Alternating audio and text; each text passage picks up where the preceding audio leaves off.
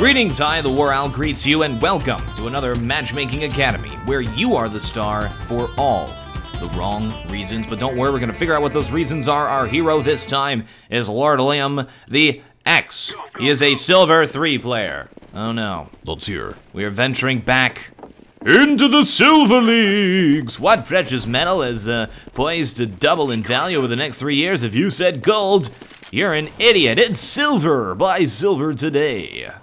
Oh my goodness. Well, his favorite fish is, uh, oh gosh, he just froze. Oh man. He just froze. Oh no. Remember guys, don't make any disparaging comments about these players. Be kind.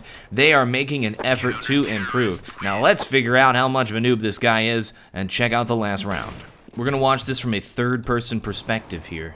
And we're going to watch the absolute horror in his face as his friends die. Boom. Boom. I've seen things.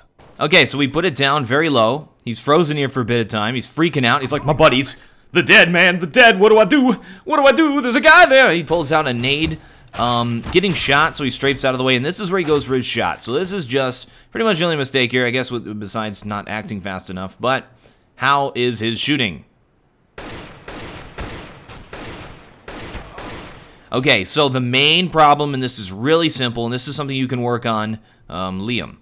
So pretty much all you gotta do to improve your game is realize that you cannot shoot accurately while you're moving. This is something for all you silver guys out there. As you noticed, Lord Liam did not stop moving. He thought just because he had the crosshair near the guy, that the guy would die. But guess what, guys? This isn't Call of Duty. Shooting works very differently, and I have a number of tutorials to cover this topic um, that you guys might want to watch. I have a tutorial series to go over the, the basics of shooting in this game. And it just seems like Liam may be a little bit new and not understanding um, how the bolts work, because there's no reason you should shoot when you're running around like that. However, crosshair placement wasn't that bad. He was a little bit to the left on the guy, but he corrected it. So really has to just work on his movement control there. So I'll just let uh, Lord Liam here play the game. We'll watch some silver level gameplay here. Turn on your X-ray. And um, pretty much he said this wasn't a pre-made team. And I'm gonna read this. I'm gonna read this exactly as it is here. Quote for quote. Well, watch out for Mr. Hamster there, Liam. Oh no, he's dead. Anyway, I'm gonna read this quote for quote. My favorite fish is a dead one, not to eat, just in general. I have no idea what he means by that. Another thing I noticed there is that Liam has a ton of money but he never buys uh, flashes or nades or anything. One round he actually just had a like a Molotov or something. It's a little bit strange. Um, part of, of learning how to play this game, like pretty much half of this game is nades and flashes, smokes, Molotovs, how to use them, when to use. Oh, okay, so I didn't even notice that before. He ran up and blocked Hulk, who was opping. Remember, guys, in Silver League, and this is gonna, you're, you guys gonna be very happy that I pointed this out, because this happens a lot. This is sort of a pet peeve of mine as well never stand directly next to a guy when he's like going to engage an enemy because he's got a strafe. He needs to strafe back or he needs to strafe out or something to avoid getting shot to shoot properly. You, Lord Liam the X, could have gotten your teammate killed there very easily by standing right next to him. Also, do not stand behind somebody if they're pushing into a room because they may need to back out of that room and you could block them. Keep in mind, you block your teammates. If you see your teammates doing something, you have to be mindful of what they're doing. All right. And he also he also had another question here. He said, "Oh, there he goes. He blocked the poor guy again." Um, what to do? And he's dead. What to do when my team doesn't speak the same language as me? Well, he gets a shot. Here's what you do. I mean, there's only one answer to this question. What do you do when your team doesn't speak the same language? You have to learn the language. There's a number of online tools you can use. You could take a course. Um, you'll learn Russian in no time, man. You'll learn French in no time. I don't know what kind of language these guys are speaking. Let's look at their names and try and figure it out. No, I can't make it out from their names. So don't worry about it. I, um, to speak with some people who play from Central America, South America, I've learned Spanish and Portuguese. Um, I've also learned French to uh, communicate with the French Canadians. So whatever region you're in, just make sure you learn every single language. It only takes about a month um, to learn. What am I? No, just queue with people you know. Last question. He said, Where do I defend bomb site A from? And this is when I can hop in game and sort of show you guys. I think he's talking about here on Mirage, which is fun to get a map besides Dust 2. There's maps besides Dust 2 played in uh, Silver League. This is incredible. All right. Well, and Office, maybe. Dust 2 and Office. Best maps ever. So he said, Where to play bomb site A from? Let's just uh, watch this and we'll hop in game and give some tips.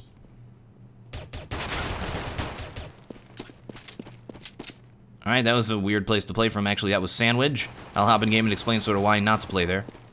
Standing out way in the open, that's a huge no-no. And yes, he does get punished for it. So let's hop in game and talk about what went wrong there. Alright, so our buddy here, our hero for today, Lord Liam the X. He was playing it from up here inside a sandwich. This is uh, kind of a scary position to play this from.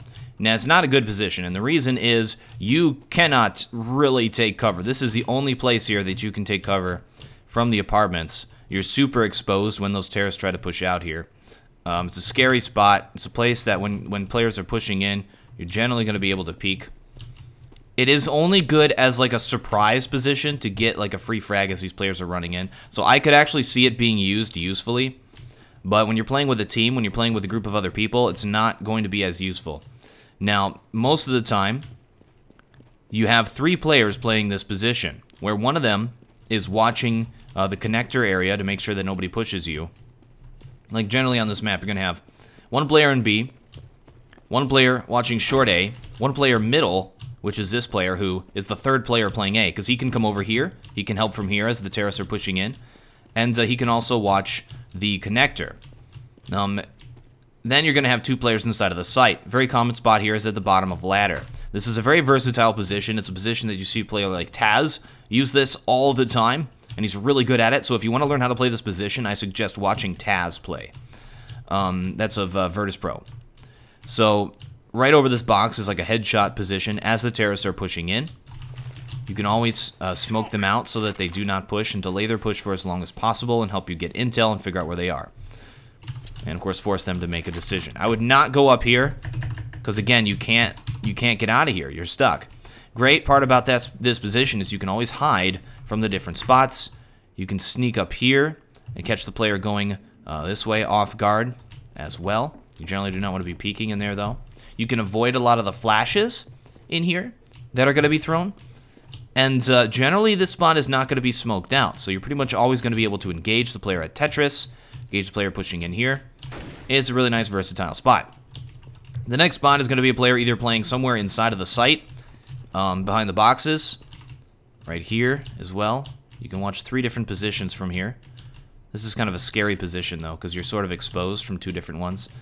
And uh, also playing it over here from the connector so that you can watch inside of apartments. So a lot of people like to smoke off the uh, this area so that they don't push in. I don't like that because as you push in from A main, it's easier to kill players. The best thing, in my opinion, that you can do is smoke off apartments so they can't really push, they can't peek, they can't do anything. And then all of your players can focus on this area uh, until your smokes have cleared. So then you don't have to worry about the apartments. You can play some crazy spots, like uh, like right here, for example where you're going to be exposed from apartments. Now let me get the op, and let me show you some of the op positions, because opping inside of A-Site Mirage is actually very difficult. Um, previously in Mirage, before this version of it, you would have an op like at CT, and you could play a position here. This box is so um, short that you are going to be seen from a player who pushes out at the apartments. So you could get picked by that player really easily, and you want to watch A main from here. Uh, if you watch apartments from here, you're just watching this spot. They can still peek different positions from apartments. They can still throw things out of there and be a, an otherwise just a nuisance. So you can duck here, but again, that limits your mobility. Um, at any point, you can jump up here. Look at connector, but again, you're super exposed. So pretty much anywhere that you want to play from, you're going to be super exposed. This box is a position that I actually really like to play because you can watch the connector if they're pushing, then move here, and you're not visible from connector, and watch these two positions. But again, you see the importance of smoking off that apartments, because now I can watch this spot unhindered, I don't have to worry about anything, move over here, I can watch this spot unhindered by anything, as long as I can't push out of that apartments. All right, so that's just a few places you can play from. What we saw Liam doing, that was a little bit of a mistake, was standing um, way out here in the open like this. And, uh, I mean, you always want to be able to take cover. And because he's here, he can't take cover. Like, where can he go? There's no boxes to hide behind. He's got to, like, run for it. Like, ah. And look at that. He keeps himself super exposed from the entrance here if he goes for that spot. If he runs over here, he's got it takes a long time, super exposed from all over the place. So yeah, Mirage A site is a difficult place to play because there's so many places you can get shot from. If Terra's set up properly and can move in um, from different positions at the same time, from the connector, from apartments, and from A main, it's going to be difficult to hold. They also have a lot of different smokes that you can throw in as well. So you got to be careful. You got to play it as a team, engage as one. All right. So I accidentally showed the Owl Vision already in one of those things where I was talking about the languages. Well, that's okay. Here's the frags again for you here. Big thanks to Liam for sending this demo in, for his commitment to getting better at the game. I made it through a silver one, a silver matchmaking academy without super hardcore raging. Well, I did rage, but I edited that part out. The magic of editing has made me look like a good person. Thank you folks very much for watching. I am the War Owl, and I still have no closer.